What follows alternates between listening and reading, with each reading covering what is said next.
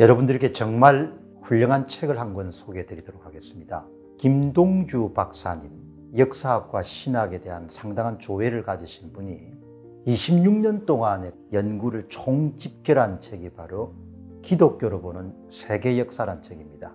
우리나라에서도 역사 뒤집기를 위해서 좌우 진영이 굉장히 격렬하게 싸우지 않습니까? 그만큼 이제 역사를 어떻게 해석하느냐, 바라보느냐가 굉장히 중요하죠. 세계사란 큰 관점 속에서 좌우에 치우치지 않고 반듯한 그런 역사적 관점을 가질 수 있지 않겠냐 그렇게 생각합니다. 기독교로 바라보는 세계사 이 책이 한국사뿐만 아니고 세계사를 반듯하게 올바르게 바라보는데 여러분들의 큰 지침이 될 것입니다. 자 여러분 이 보시기 바랍니다. 이 총선 2024년 총선은 있죠. 뭐 100% 조작합니다. 예. 그거는 아홉 번 조작했는데 열 번째 안 한다 정신 나간 놈이 이름 열 번째 안 하겠죠. 조작합니다. 조작하면 국힘이 대표하고 국민들을 멈는 노예가 되는 겁니다. 그리고 참정권을 되찾는 건 불가능할 겁니다. 그거를 제약 K님이 여러분들 자료를 말씀드렸지 않습니까 여기에 신종 사기수법하고 구조작법을 잘 구분해 놨지 않습니까 이거 이런 보시게 되면 은 이 사람들이 이번에 도입하게 된 통합선거인 명부 위변조를 통한 사전투표를 부풀리기 방식은 어마어마하게 위력적인 방법입니다. 이 방법을 여러분들 이번에 사용할 걸로 봅니다.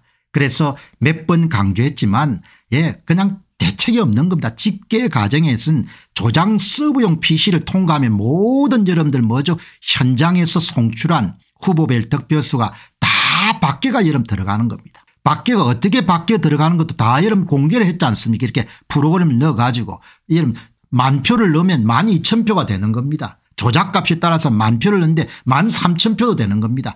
조작되는 합계 PC 예, 이 PC를 통과하는 순간 다 숫자가 바뀌어서 여러분들 입력이 되는 겁니다. 숫자를 바꿔가 여러분 입력하는데 무슨 방법을 가지고 막을 수가 있겠습니까 그래서 사전투표 제도에 대한 전면적인 개선이 필요하고 그 과정에서 국정원 감사란 것은 어마어마하게 중요한 겁니다. 그런데 공교롭게도 김기현 여러분들 국정원장이 1차장 2차장 함께 전부가 다 교체가 돼버린 겁니다. 그래서 의심 안 할 수가 없는 겁니다. 언론들은 모두가 다 무슨 인사 잡음이다 하는데 저는 그렇게 안 보이는 겁니다. 이 친구들이 그냥 장난을 쳤구나 이렇게 보는 겁니다.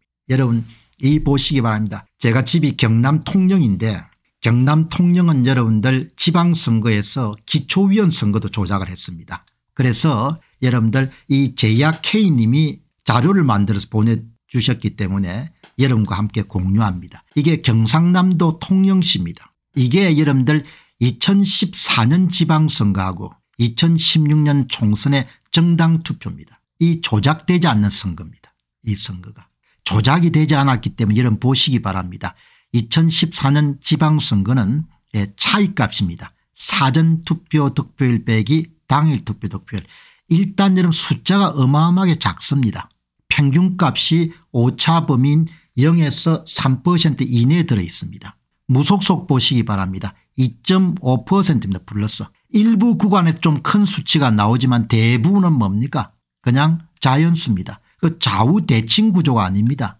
만든 숫자가 아니라고 이렇게 생각이 되는 겁니다.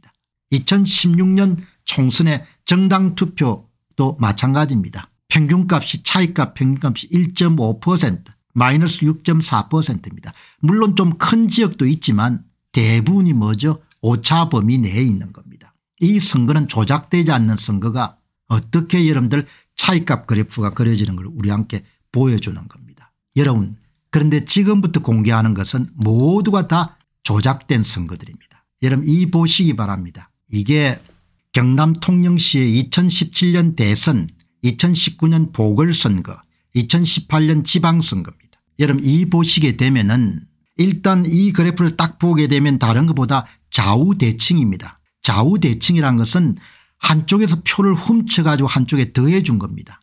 여러분 차이값의 평균값이 더불당이 9.8%입니다. 이게 경남 통영시는 전통적으로 보수 색채가 굉장히 강한 지역입니다. 여기서 여러분들 더불당이 플러스 9.8% 사전 빼기 당일입니다. 자유한국당이 마이너스 10.4%입니다. 이거는 뭐 거의 100% 조작입니다.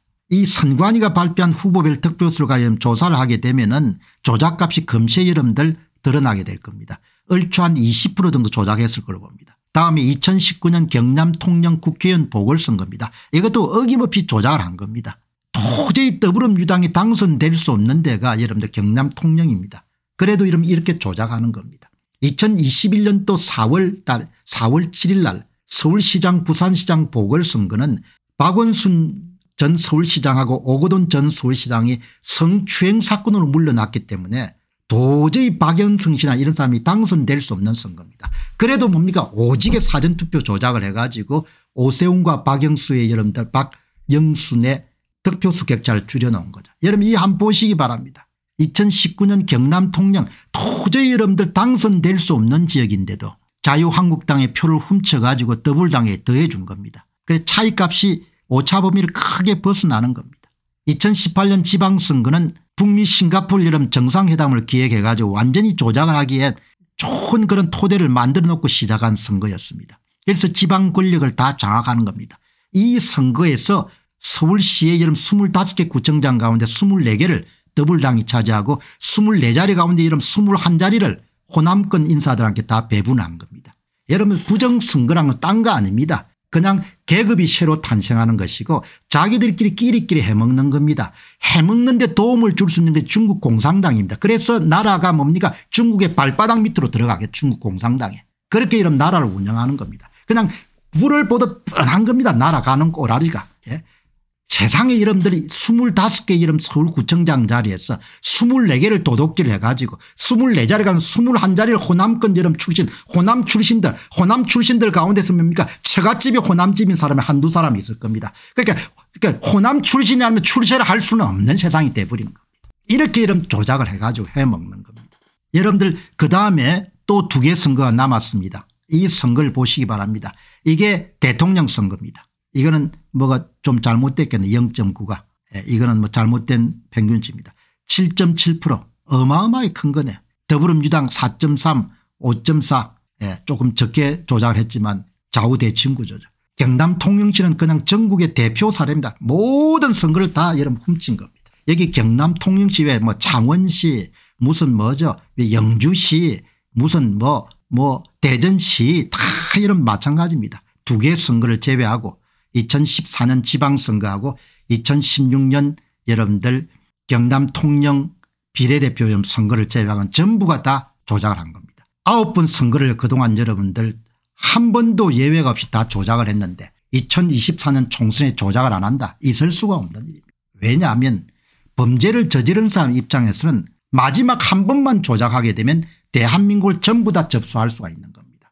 2024년 총선만 조작을 해가지고 더불당이 200석을 넘기게 되면 그다음부터 모든 법을 다 만들 수 있고 헌법을 개정할 수 있고 대통령을 탄핵시킬 수 있기 때문에 마지막 일전입니다. 마지막 결정입니다. 그래서 이번에 국정원의 김규원 원장 여러분들 1차장 2차장과 함께 물러나는 것을 나는 굉장히 의심스럽게 보는 겁니다. 국정원은 역사상 어느 공적기관도 할 수 없던 위협을 달성한 겁니다. 그것은 바로 선관위에 대한 4% 표본 가운데 4%를 조사해 가지고 세 가지를 찾아낸 겁니다. 일반 인터넷망으로서 얼마든지 선거관리위원회 전산장비와 서버에 침입할 수 있다.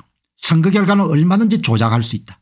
전산 사전투표처럼 사전투표사 명부가 없는 경우는 통합선거인 명부 위변조를 통해서 얼마든지 가짜 사전투표소를 만들어낼 수 있다. 그것을 여러분들 국정원이 공식 감사를 통해서 밝혀낸 겁니다. 국정원 이름 마음 먹고 이름 달라들어 선관위 이름 하면은 어느 놈이 도둑질 했는가를 다 찾아낼 수가 있겠죠. 그런 이름 국정원장을 그냥 두겠습니까 제거해야 되는 거죠. 이렇게 여러분들 돌아가는 겁니다. 오늘 여러분들에게 말씀드린 내용이 뭐 하나도 여러분들 제가 뭐 거짓말을 하거나 그것을 뭐 과장하거나 이런 것은 없는 겁니다. 나라가 정말 어렵고 위험한 순간에 지금 도달해 있는 겁니다. 지금 이 문제가 이제 한 세, 세 달, 네 달 정도 남은 겁니다. 12월, 1월, 2월, 3월 달 안에 사전투표 제도에 대한 전면적인 수선이나 사전투표 폐지가 없이 여러분들 2024년 총선이 이루어지게 되면 은 그거는 그냥 그냥 뭐 0.001% 가능성도 없는 겁니다. 그냥 더불당이 압도적인 1등을 할 겁니다. 윤 대통령 뭐 탄핵은 당연한 겁니다. 탄핵하고 이런 대선 실제가 되면 당연히 조작할 거니까 뭐 더블당 후보들이 당선되겠죠. 그리고 그걸로 대한민국은 실질적으로 자유민주주의가 끝나는 겁니다. 국민들은 그냥 선거일 날 그냥 나가서 그냥 덜러리 쓰는 겁니다. 그리고 그 정권은 굉장히 폭압적인 정권이 될 겁니다. 그래서 누구도 대들 수 없을 겁니다. 저도 여러분들 이런 이야기를 이제 앞으로 못하게 되겠죠. 그러니까 한민족 5천년의 이름된 노예 역사 속에서 한 80년 정도 참정권을 항유하는 자유인의 역사가 한민족 역사에 처음으로 등장했는데 그것을 결국은 더불당 내에 있는 586 운동권 출신을 중심해 가지고 선거를 장악하는 선거 부정을 통해 가지고 결국 나라가 넘어가는 겁니다. 이 정도로 심각한 일을 이야기를 그냥 귀에 흘리는 사람들이 대부분일 겁니다. 이렇게 나라가 지금 어려운 상황입니다. 자식들 문제가 아니면 뭐 이런 문제를 이렇게 심하게 이야기를 안 하죠.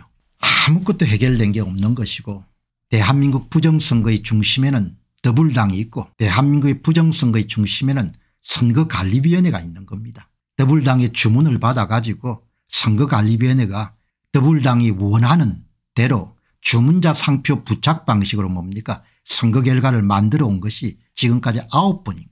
이제 열 번째를 목전에 두고 있고 그 열 번째는 기존의 아홉 번 선거와 비교할 수 없도록 중요합니다. 그것은 바로 대한민국의 자유민주주의가 종언을 고하는 사건과 바로 연결되어 있는 겁니다. 자 여러분 오늘 방송 마무리하고 또 내일 새로운 콘텐츠를 준비해서 여러분 찾아뵙도록 그렇게 하겠습니다. 자 마무리하도록 하겠습니다. 감사합니다.